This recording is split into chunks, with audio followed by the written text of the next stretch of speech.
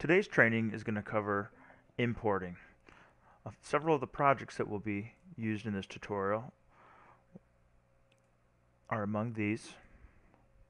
And we'll be looking at how to import in different vectors, images, and 3D models into the software and then bring them out to the ShopBot where we'll finally cut them out.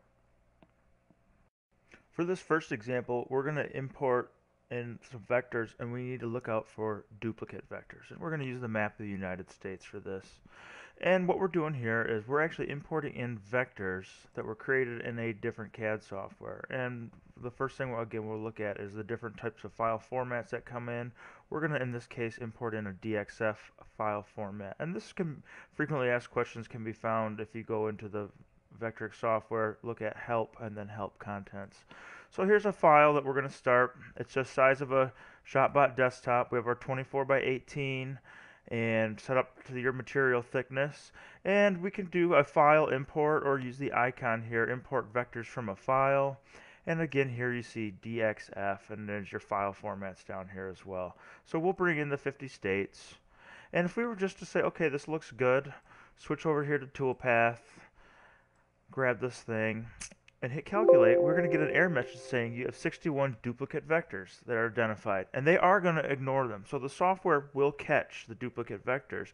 But you should also manually check the software, the DXF files, or whatever vectors it is that you are importing when you first bring them in. So I'm going to go ahead and hit cancel and close.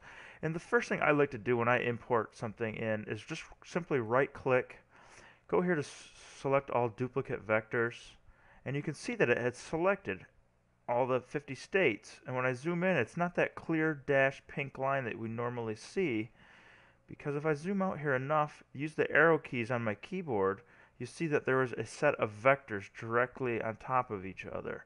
So the software would catch this. It would not cut it twice but it's good for you to when you first come in to actually get that duplicate vector delete it and then when you go to toolpath it select your vectors and hit calculate.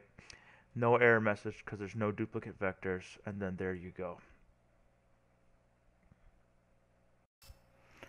Let's take a look at this cutting. So this is on a HDPE material. This is ColorCore. This is actually a blue on the exterior and white on the inside. You can get it in variation of different thicknesses and different colors, but thought this would look good hanging up in our training area and people can start marking where they're from. So uh, the next one's going to have to be a globe since we sell a lot of tools internationally. Another thing to look out for when importing vectors from another program is open vectors. And just for anybody that's not familiar with that term yet, your normal vectors that you see here, your circle, uh, if I go into node editing, you can see this green square, and that's the start point of the cut. Well, in a closed vector, whether it be circle, rectangle, different polygon, uh, the, the entry point where it starts cutting is also the exit point where it finishes the cut. So this cut would go all the way around this vector, finish and start at the same place. When you have an open vector, what you have is a start point and the stop point of a cut that are clearly in two different spots. So nothing wrong with open or closed vectors. That's what they are in the program. But what you have to look out for when you're importing are vectors that are open but looked closed. So let's demonstrate this. Uh, before we use the icons, again, you could also go up here to File, Import, Import Vectors, and I'm going to just bring in a logo so here's the ShopBot logo. And it looks great. If I center in the material here, you would see this looks just like a logo. That we could go ahead and V-carve or cut around whatever it is that we're going to look. But what would happen is we came over here into toolpath that it's going to say ignoring certain vectors because they're open. So if I show demonstrate this by clicking, see how the full S is not highlighted. All these are brought in and these points, they may be close, they may look like they're touching, but there's a gap between them. So these are supposed to be closed vectors for coming over here to toolpath, but at this point these are still open vectors, and this would not allow us to go through with the type of cut we would like to do. So the simple thing you can do when you bring in something, and you never know where you're getting some of these files from, so I like to go right click, select all open vectors and notice everything on here is open because everything's cut apart and the points are not joined together. So by right clicking, select all open vectors. There is a join open vectors function or a shortcut key on the keyboard which is J. And when we go into here what we can see is we currently have 0 closed and 37 open. By hitting this join command we will have 16 closed vectors. And I like to leave this as a small tolerance. What that does is that keeps the endpoints from being moved from where they are. And normally, if this is something that they're not joining, I'll go back to where it was originally designed in and try to clean it up from there. So I'll go ahead and click join, close, and now when we look at these, they're a closed vector. The cut's going to be able to go all the way around the, either the outside or the inside of that vector because it's now closed.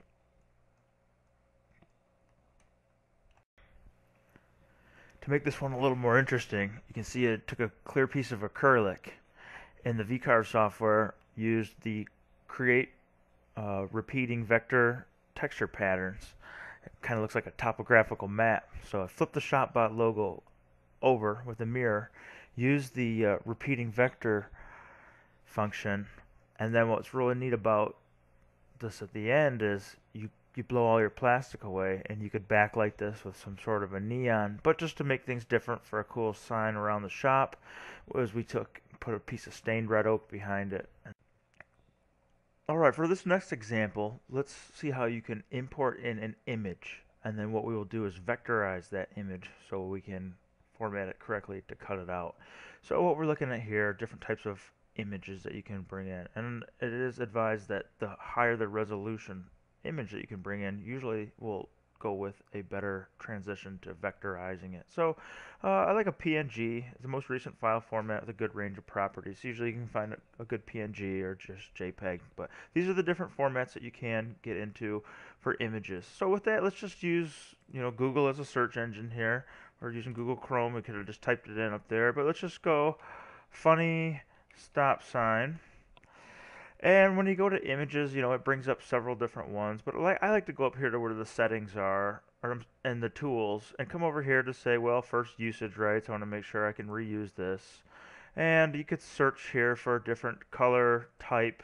Line drawing a lot is really nice to do. But for this one here, just keep it simple for today's. This one's kind of neat.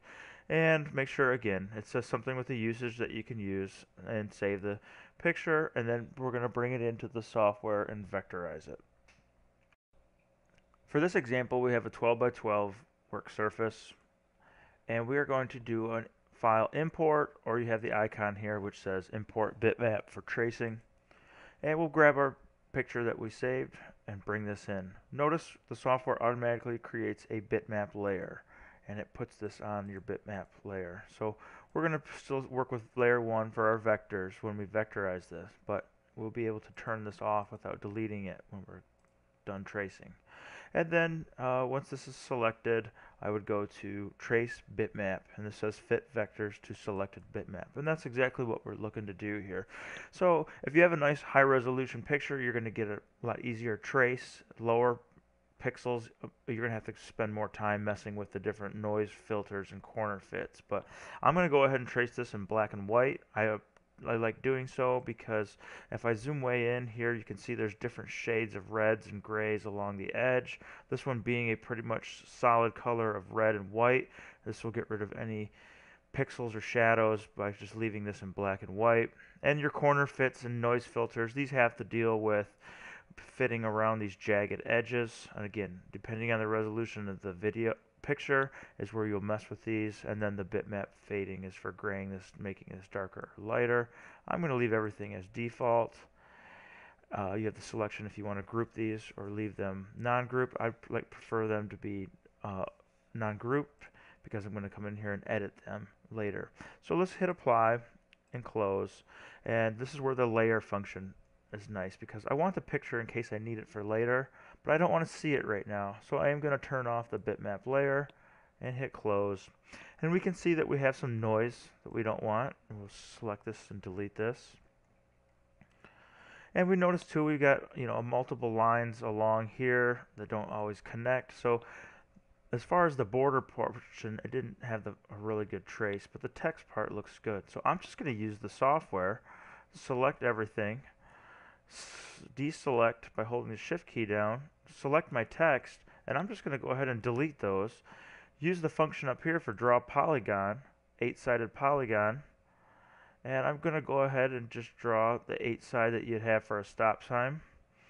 And what I'm going to do with this is I'm going to select my text, center that in the material, go ahead, take my stop sign, center that in the material. Actually, just by preference, I'd like to move this up.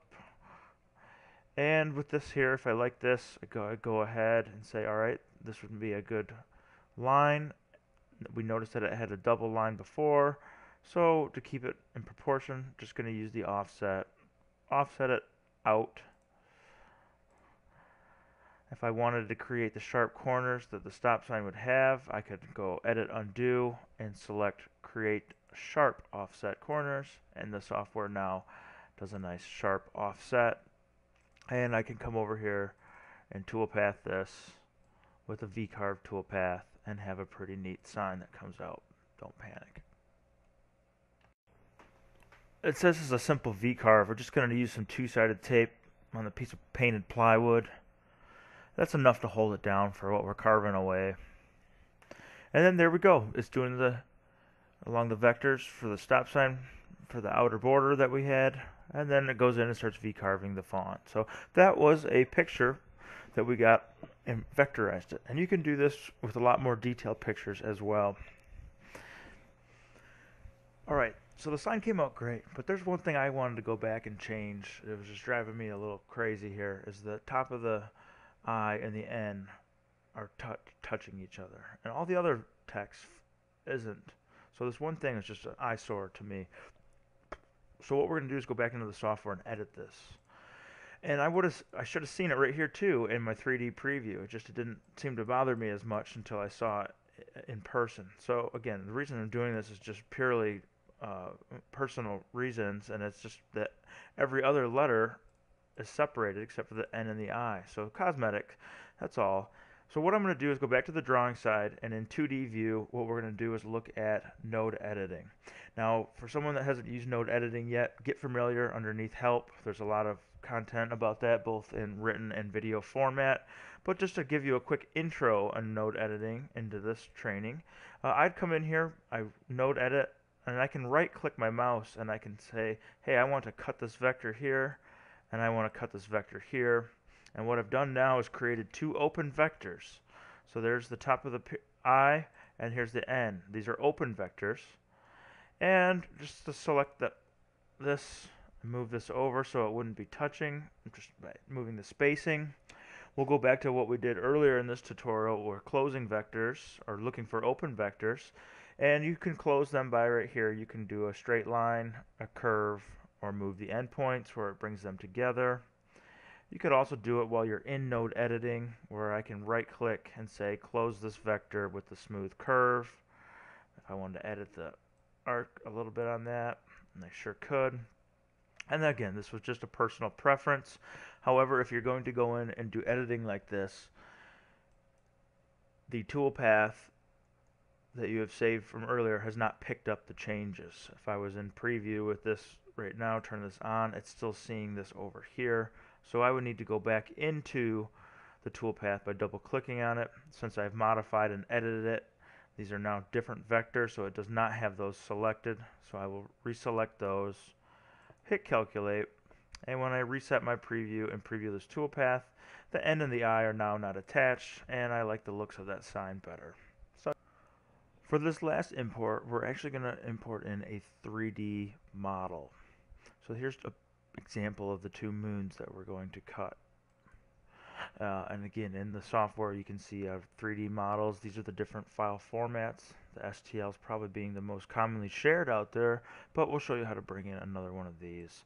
So here we are again in VCarve Pro. Just a simple file, 12 by 12. And now we switch down here to Modeling tab.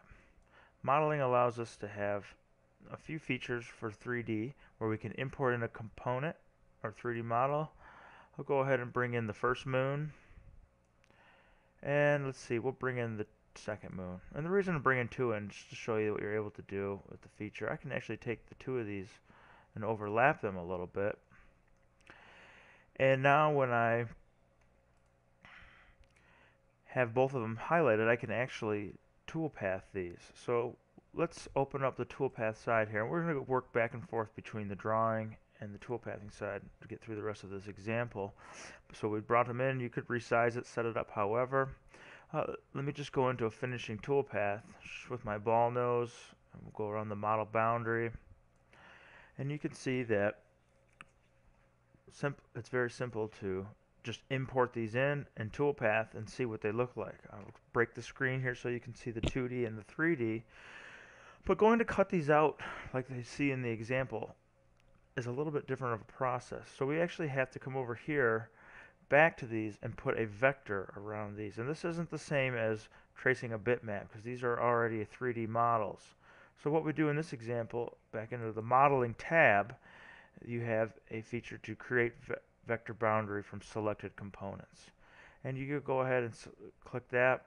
And if I zoom in here, it shows you that it actually put a line all the way around the edge of these models.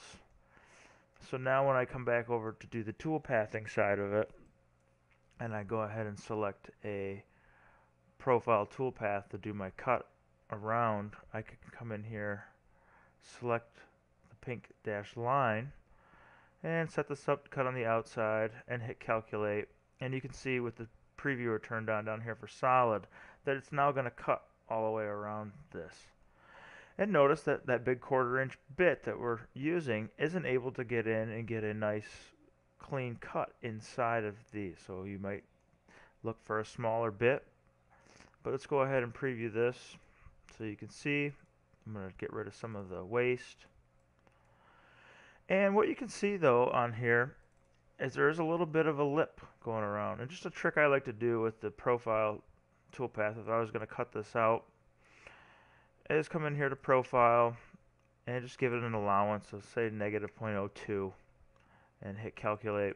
And what you're doing with the negative 0.02 is you're actually cutting into the vector a little bit the model.